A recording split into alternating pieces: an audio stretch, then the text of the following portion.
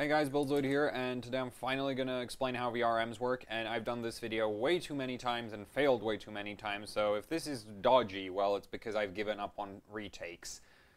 So, um, VRMs, how do they work? Well, first of all, let's break down what VRM means. So VRM stands for Voltage Regulation Module. Uh, it's an extremely generic term, uh, doesn't really specify much.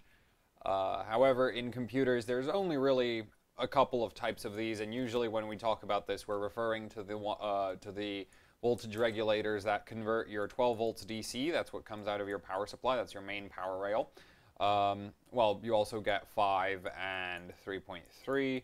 Uh, this is generally used for driving various uh, ICs.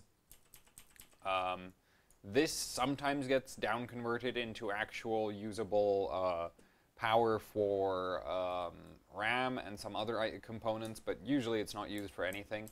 Uh, generally, all of your big VRMs will run off of your 12 volt rail. So, uh, you'll have 12 volts, and you want to convert it into something that a CPU can actually use, like 1.2 volts. Uh, and for this, you use a type of uh, voltage regulator, and oh, we're in the middle of the page. Oh, whatever. Whee! Let's move to the edge.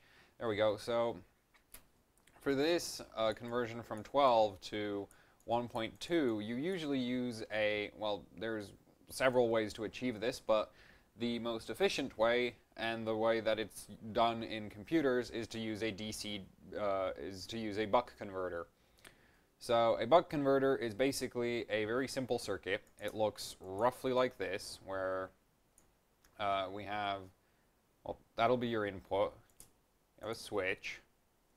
And I'm going to draw a switch because A, drawing actual MOSFET uh, symbols is a pain, and because the MOSFETs in uh, in uh, buck converters are literally only used as switches. So, the circuit looks like this, and as you can clearly see, it's really not that complicated. Um, I have two switches and an inductor and this basically can convert any, uh, any voltage that you apply here. So if we say put 12 volts here, then this goes to ground. That's what the arrow symbol is. That usually means to ground. So that's ground. So if we apply 12 volts here, then we can actually get any voltage below 12 volts right here. Any voltage we want, we can get it below that. Uh, this right here is a choke or inductor. Uh, the distinction between the two being that all chokes are inductors, not all inductors are chokes, because chokes are chokes because of them being inductors used for filtering purposes. So you can use inductors for other things, and then they're not chokes, but in VRMs, they're chokes. So I'm just going to use choke because it actually has more, less letters. I prefer the inductor term because it makes more sense, and it's, uh, it's Googleable, unlike choke. If you try to Google choke, it's kind of uh, gives you a pretty hard time. Uh, this block right here, that's going to be your load. This can be a CPU, GPU, Northbridge, RAM, whatever. It could be a light bulb. It could be a DC, well, it could really, you wouldn't want to run this on a DC electric motor. Um, actually, yeah, a DC electric motor with no, yeah, that, that could work. So you could totally run an electric motor. Basically anything uh, that you want to power could go right there. So you go from 12 volts, and by here, if we're going to say this is a CPU, so by here, by this point, because there's, you know, there's nothing between here and here, uh, you're going to have whatever voltage the CPU runs on. Now let's say that's going to be 1.2 volts for today. So we want 1.2 volts for this CPU. So, um, and there's one last component missing in this circuit, and I'm going to explain why that one's there when, uh, actually later, uh, when we when I fire it up. So let's fire it up. So we've got two switches in here and everything else is completely passive, right? There's no other components that I can really do anything with. I could close this switch, that doesn't do anything because this switch is just hooked up to ground and, and, and this, and this is again unpowered. There's no power anywhere in the system, so closing this switch doesn't do anything. If I close this switch, then we're going to get something interesting, and we're going to get two graphs here that I'm going to draw. So this right here will be called point A, and that right there is going to be point B, okay? So at the start of time, here we have a graph. Ooh, I have an idea. Wait, is that going to work? Oh, no, it's not going to work. Okay, whatever. Um, so I have a, let's have a graph of, say, voltage, right? So um, volts at, and that's going to be at the A point. There. And at the top of this, we're going to have, uh, let's say no. I'm going to put a line here. I'm going to say that's 12 volts right there. That line right there is 12 volts. That down there is 0 volts. All right, so when I close this switch, then from A to ground, because you always measure your voltage against uh, against ground, or you want you have to measure it against something. There's not just there's a voltage there. Uh, it doesn't really work like that. Uh, there has to be a difference uh, that from one one area to another. So you have your 12 volts, uh, and we've just closed it. So what you'll see is, and I'll need a different color here, and I just there we go. So what you'll see is it'll you know so you know switch closed we have zero volts, and when we close the switch we get 12 at A point, right? So now we have 12 volts on A point. But what do we get on B point? We obviously don't get 12 volts at B point. Well, what we get at B point, let me draw another graph, volts at B is going to look like this. So again, I'm going to put 0 volts down here and 12 volts up there because this one's going to be a bit of a pain. Um, and 12 volts will be this line. There we go. I should have totally enabled a grid for this. Um, and so, you know, if we if we graph the voltage, then for you know this time period right here, it's going to be just flat. It's going to be zero because there's no no power in the circuit, so this is zero. And B point is right after the choke, so it's right after the inductor. Just keep that in mind. So now as time goes on, we eventually switch on 12 volts, but obviously we don't get 12 volts here because that, that, that would destroy the CPU. So we don't get 12 volts right off the bat. What happens is, uh, let me move this out of the way again. Um, so we're going to produce 12 volts for a certain time period, right? So I should have actually specified that there's a time section here. So this is time down here, obviously. So that's time. So that's and so we have 12 volts turned on for that period of time. And what's going to happen at B point is going to look very interesting. It's going to look like this. Okay? Or it could also look like this. Um, if you have a really, like, it depends on the kind of choke you're using, uh, what you'll actually get in terms of rise. Um, you could also end up with something that looks uh, like this for example, right? You could get all of those uh, voltage uh, options. All of that could happen in, in, this scenario where you keep the switch closed for a certain period of time. But for the sakes of this illustration, let me just undo a bunch of stuff. Uh, I'm going to say we cut off uh, our voltage supply very early. So we reach something like that, right? And they do somewhat align, okay? So we reach a certain voltage point, and let's say that is, uh, let's just say that right there is 1.2 volts. Boom. 1.2. So now we've achieved the voltage we want on our CPU. So that, that's great. Uh, and if we, you know, keep this turned on for longer, then, you know, let's say we extend that past that way, then what will happen is this will keep rising linearly and eventually it'll hit 12 volts. So we'll obviously at this point, we're going to open the switch. And that's going to, you know, cut off this charging cycle. Now let's talk about what actually happened while the switch was closed. So when I close the switch, I apply 12 volts to the inductor. Now inductors resist current changes, okay? and they're called inductors because they induce a magnetic field. The magnetic field is responsible for their reluctance to allow currents to change. So the inductor starts building up a magnetic field. When the while the magnetic field is building up, the voltage there's going to be a voltage drop across the inductor. Now, this voltage drop will be not converted into heat because usually if you have a component, right, say a resistor, and you have a drop of voltage across the resistor, it's going to convert it straight into heat. Inductors don't do this. There's a voltage drop across the inductor, but it's converting all of that energy that's being lost into a magnetic field, and that's going to start expanding as the inductor charges. And as the inductor charges up, uh, the magnetic uh, the voltage wait the voltage drop across the inductor gets smaller, which is why our voltage. So at point A we get you know we get whack bang 12 volts right off the bat. But at point B, because the inductor is still charging, you're going to have that slow, you know, rise. And that's going to be tied to how high inductance the inductor is. Very low inductance inductors have better efficiency. Um, because they're smaller, there's lesser eddy currents, you're putting less energy into them, and there's dis less discharging, so you know they're higher efficiency, but they also respond faster. They're going to change, like the lower your inductance, the the faster that rise time is going to happen. If there wasn't an inductor, you're you, are you are just going to get straight 12 volts right off the bat, right? Um, so inductors basically limit how quickly the voltage can change depending on their inductance, which tells you how big the maximum magnetic field that they can hold basically is.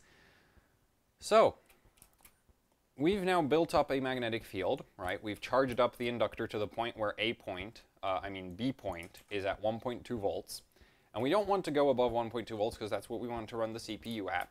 And so we have to turn off this switch. So we open this switch, and that's going to mean that at a point we're going to get this gigantic voltage drop, and that voltage is just going to fall straight into the ground, and it's going to, you know, drop right down. And that's going to cause an issue right now. So this circuit right here is incomplete. I said that earlier. Uh, this is not a complete buck converter. This would not work. This would actually be, this would, at this moment, in this state, that like charged, charge an inductor, open all, both switches open, this would be a catastrophic failure state. This would just destroy whatever's inside uh, this right here. And the reason for that is when you, you know, open this switch, uh, you no longer have 12 volts here, right? So you, you have zero volts. And you also lose current flow. So there was current going through the circuit like that, right? It was going from 12 volts to ground and through the inductor and through the load. And this is going to cause an issue. So that current was building up that magnetic field inside the inductor that magnetic field no longer has a current sustaining it. There's no current going through the circuit. So that magnetic field is going to start to collapse. So all of the energy stored in that magnetic field is going to be converted into, basically, it's going to try to push a current. Okay? Uh, and the thing is, there's no closed circuit here. So this inductor right now is going to start acting like a battery, essentially. And that's going to mean that this end, B point, is going to fly positive. You're going to get huge positive voltage, and this will start acting like ground. And basically, unless the voltage exceeds the rating of this switch right here and just skips through the switch, uh, this voltage is going to just keep going up and up and up and up. So that's obviously very bad, and even if the voltage spikes a little bit, it's going to destroy your CPU. So we can't let this happen.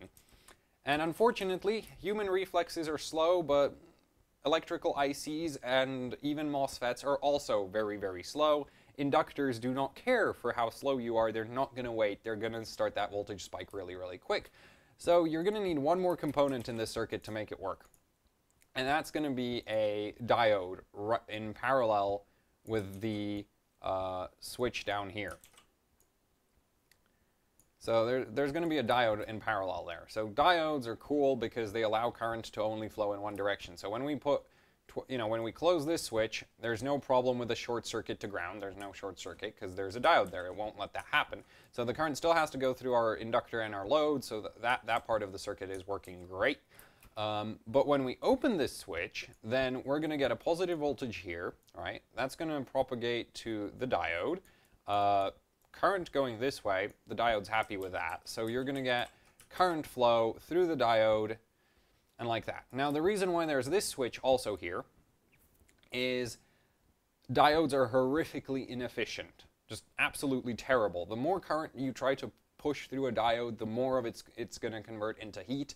And basically anything above an amp is going to massively Like, you can't really get a good enough diode for anything above an amp. Uh, sure, you can get 10 diodes and put them all in parallel, but that'll get really, really big really, really quickly. It's not going to be space efficient. There's no way you're going to use that. So you put a switch in parallel with the diode, and basically, while once this switch is fully open, right? We know that this one's open because we just opened it, and now it's sitting open. And now we can go and close this one, and the current will go, instead of through the diode, it'll start going through this switch, and we boost our efficiency. Lovely. So now our voltage is going to start dropping because the inductor is discharging just fine. There's free current flow. It's not going to complain. Uh, so our voltage right here is going to start dropping slowly. Right? So it's going to start dropping like that. And I'm sorry, I did not realize my current scale, uh, my graph scales would be this terrible. But, you know, uh, if we let the, you know, if we do not apply 12 volts for a long enough period of time, our, our voltage is just going to hit rock bottom and that that's not going to be a good thing. So, actually, that would look more like, give me a second, that's going to look more like that. Okay? That's what the voltage, it takes a while to get an inductor to fully discharge.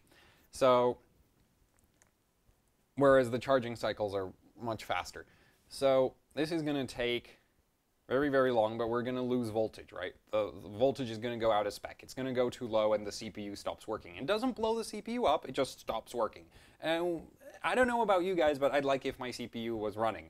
So what you do, because there's not really much you can do, is you open this switch, so that puts load back onto the diode, and then you close this switch. So you start rebuilding that magnetic field.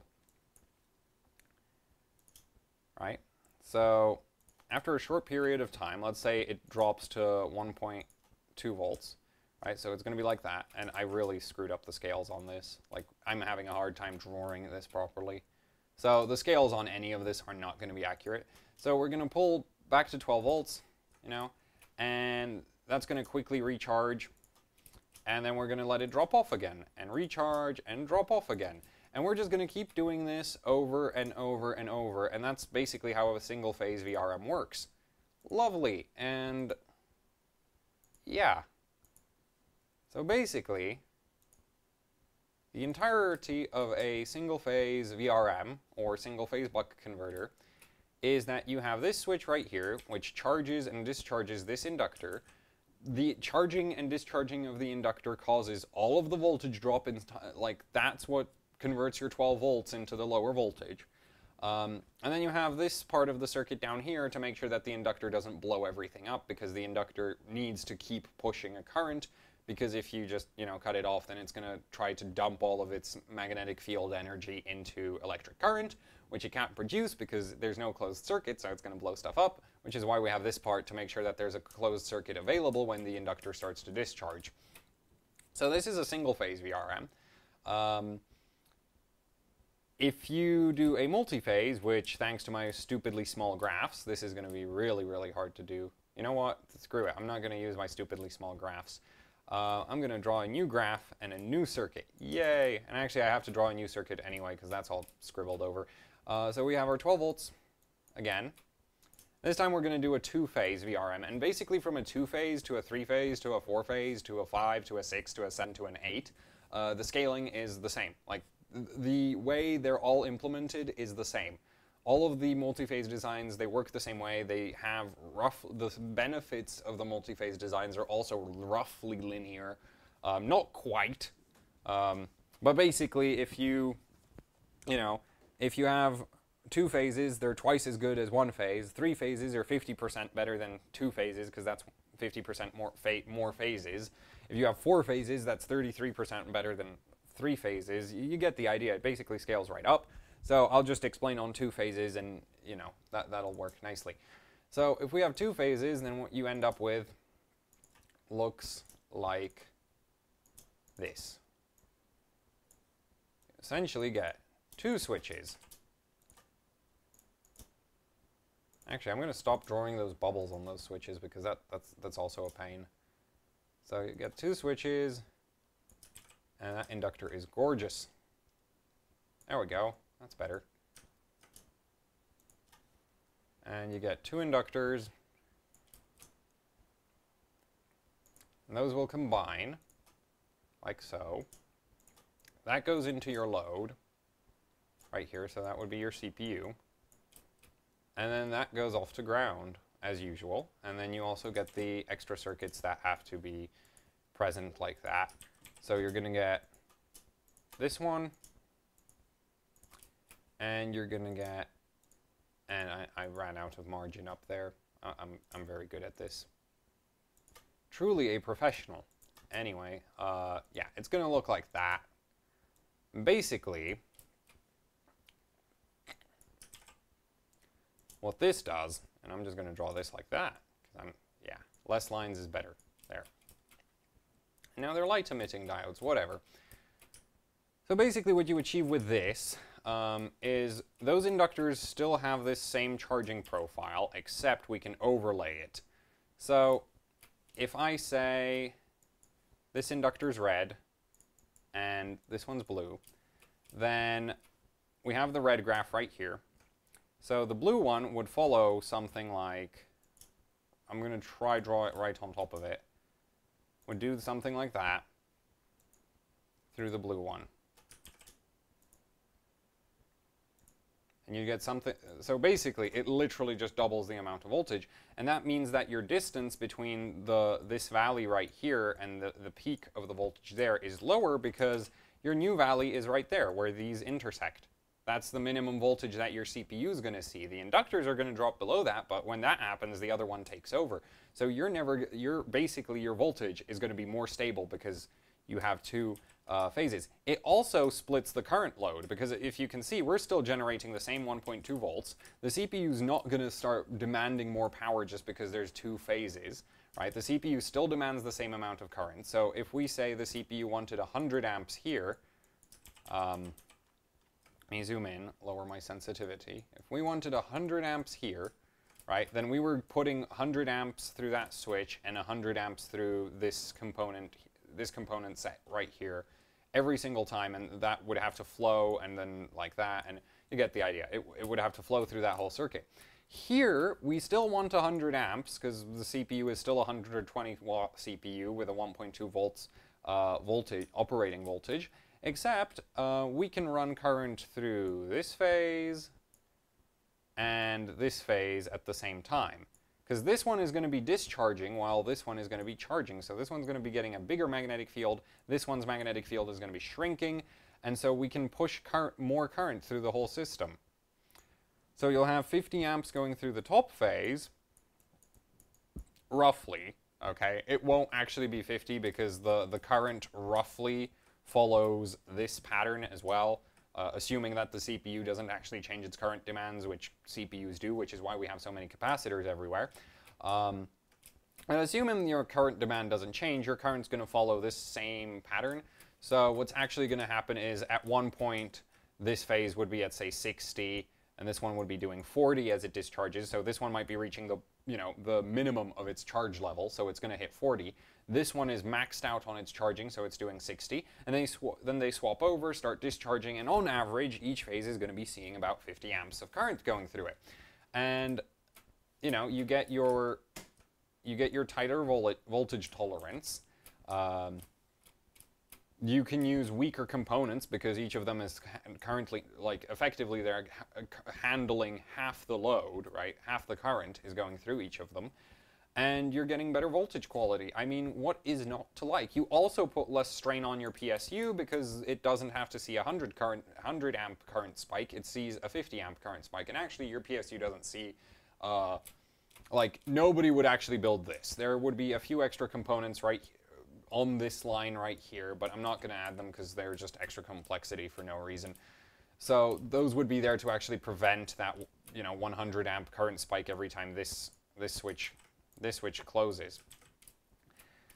So then that's how these things work. Uh, now let's go over what they're named, and in a future video I will explain uh, what all the components are called, and in a future video I will explain how these things fail. Uh, and uh, we're going to go over how what everything is named because I forgot to do that earlier in the video. Sorry! Nah. So if we look at this, then, you know, th this is our single phase VRM. Uh, we have 12 volts there. We have ground here. So that's our choke inductor. This right here is the high side MOSFET. And it's called the high side MOSFET because it's switching on and off this high voltage, this 12 volts. And that actually causes a lot of load on the MOSFET. Okay, this high voltage is actually a huge part of why you can't just say the high, uh, uh, why some things are not quite as they seem, as I'll explain in the video where I'll explain why VRMs fail and how they fail, and basically how MOSFETs blow up. So if you ever design anything with MOSFETs, you'll know what, what kind of stresses you can and can't put them under. This one right here is called the low side MOSFET because there's only two MOSFETs and um, this one's called the high side, and everybody knows the other one has to be called the low side. Well, this one's called the low side FET because it switches on the low, switches off the low voltage. Because effectively, the voltage right here, right before this, this switch right here, should be about zero volts all the time. It's not actually going to be that because this diode is going to have some voltage drop across it while this switch is open. But in general, it should be about zero volts. So that's why we call it the low side FET because it switches on the very, very low voltages. This one switches on the high voltage. So, yeah, uh, that's how VRMs work.